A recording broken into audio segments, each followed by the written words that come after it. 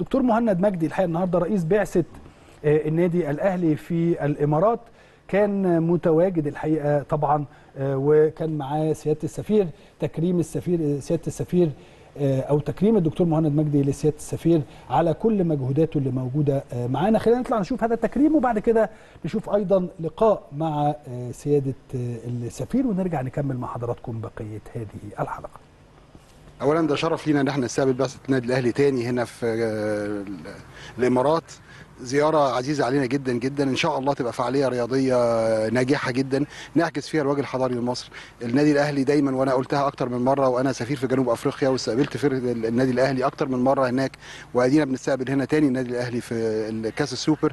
إن شاء الله دائما سفير لمصر وللكره المصرية. مش بس الفريق النادي الأهلي ولكن كل الفرق المصرية والفرق القومية بتاعتنا في كل الرياضات. النادي الأهلي دايما بيرفع راسنا دايما مشرفنا. أنا من ساعة ما جيت والفرقة والانضباط والالتزام والنظام اللي, بيتبعه الفريق طبعا تحت إشراف رئيس البعثة دكتور مهند. حاجة مشرفة جدا حاجة بتخلي الواحد المصري هو مبسوط إنه بيبص على هذا الالتزام والانضباط. وإن شاء الله كل الفرق المصرية تبقى بهذا الالتزام والانضباط. ولا نقلل من شأن أحد ولكن جميع الفرق المصرية بترفع شأننا إن شاء الله. جمهور النادي الأهلي جمهور جمهور محترم ملتزم جدا جدا. آه زي كل جمهور الكرة المصرية إحنا يعني بقول الجمهور المصري بصفة عامة وهتشوف حضرتك إن شاء الله في يوم الماتش هتشوف الجمهور المصري متواجد بمختلف يعني طوائفه الرياضية وايا كان انتمائه الرياضي اللي بيشجعه هتلاقي التزام كامل. جمهور النادي الأهلي بيدي مثل الالتزام والانضباط. ويعني خليني بالمناسبة دي برضو أبعت تحية خاصة جدا جدا للكابتن محمود الخطيب اللي كنت أتمنى إن أنا يعني أبقى في شرف استقباله هنا. ولكن إن شاء الله ربنا يعني يديله الصحة ودايما نشوفه في مناسبات. وجوده كمان بيدي انضباط والتزام للجميع. وأي حد بيمثل الكابتن محمود وبيجي على رئاسه الوفد الفريق لرئاسه الفريق بيمثل نفس الالتزام ونفس الانضباط. أنا ببعت تحية خاصة للجمهور المصري كله ومش عاوز أخص الجمهور النادي الأهلي ولكن جمهور النادي الأهلي يعلم جيدا إن أنا قد إيه دائما بكن له احترام وتقدير والجمهور المصري كله بيرفع دايما علم مصر وبينادي باسم مصر ينادي باسم النادي الأهلي أو نادي الزمالك أو نادي Future whatever النادي أو يعني ايا كان النادي اللي هو بي آه وبيراميدز أنا أنا بشوف إنه ايا كان النداء اللي بينادي بيه هو في الآخر بينادي لمصر ما هي فريق بيراميدز بيمثل مصر. والأهلي بيمثل مصر والزمالك بيمثل مصر كل الفرق دي بتمثل مصر. فايا كان الاسم اللي بينادوا بيه هو في الآخر مصر بيعبروا عن حضارة مصر وعن التزام الجمهور المصري. إن شاء الله بالتوفيق لحضراتكم أنتوا بتنورونا دايما. وأنا سعيد جدا بوجودكم معانا. شوف حضرتك العلاقة المصرية الإماراتية هي علاقة على أوج أو على قمة أولويات الدبلوماسية المصرية. ده على المستوى السياسي ولكن أضيف إليه كذا بعد آخر. ومن ضمنهم الدبلوماسية الرياضية، الدبلوماسية الرياضية هي مصطلح يمكن حديث في السبعينات ظهر ولكن الإمارات تمارس هذه الدبلوماسية بحرفية شديدة جدا جدا وليس أدل على هذا من استضافة الدورة الخامسة السادسه من كأس السوبر المصري في الإمارات. وأنا اتسألت قبل كده طب يعني ده دليل على إيه؟ قلت لهم دليل النجاح.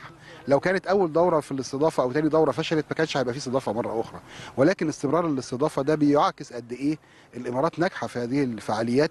مش بس في كرة القدم الإمارات بتستضيف حلبة لسباقات الفورمولا الإمارات بتستضيف حلبات للمصارعة بتستضيف فعاليات ثقافية بتستضيف فعاليات رياضية كثيرة جدا.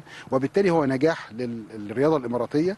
وهذا النجاح في الآخر عائده لمصر مصر هي اللي بعت هذه الفرق وهذه الفرق هي اللي بتمثل مصر. فمصر ساعدت في نجاح الإمارات للترويج في الدبلوماسية الرياضية. فأنا ببعت من عند حضرتك تحية خاصة جدا للشعب الإماراتي والقيادة الإماراتية اللي ناجحة إنها تبرز هذه الدولة بهذا الشكل من التسامح والقبول للآخر واستضافة هذه الفعاليات. أنا لازم احيي كابتن اسلام ولازم آه يعني آه أقول له ان إحنا كان نفسنا نشوفك هنا معانا ولكن على الاقل هذه الرساله هتوصل له في الاستوديو ان شاء الله. وارجو من جمهور النادي الاهلي ان شاء الله دائما ان يظل رافعا راس مصر عاليا بتحيه وتشجيع وطني نابع من جمهوره ملتزم ان شاء الله. وكل جمهور مصر بهذا السلوك والخلق ان شاء الله تبقى مباراه ناجحه بالتوفيق للفريق اللي بيلعب احسن. ان شاء الله يعني مصر هي في الآخر الفائزه. ان شاء الله.